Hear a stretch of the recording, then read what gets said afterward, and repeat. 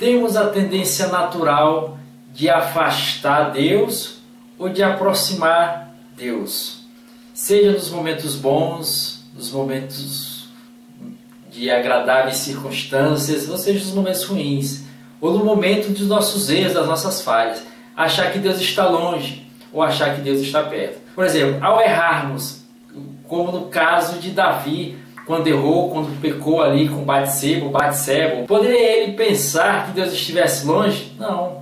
Sempre temos a tendência natural de colocar Deus ou perto ou longe, conforme o momento que nós estamos vivenciando. Deus ele está em todos os lugares, em todos os momentos, em qualquer circunstância da nossa vida.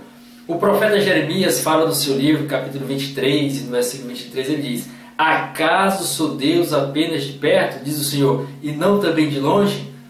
Quando oramos, pensamos que ao interceder por alguém, Deus não vai de encontro àquela pessoa. Não, Ele está em todos os lugares. Ele é Deus de perto, mas é Deus de longe também. Seja aonde você estiver, seja o que você enfrentar e em quais circunstâncias você se encontrar, Deus está perto ou Deus está longe.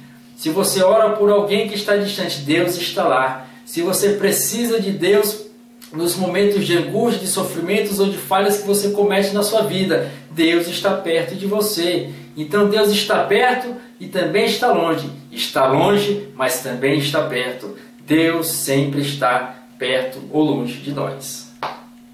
Deus te abençoe.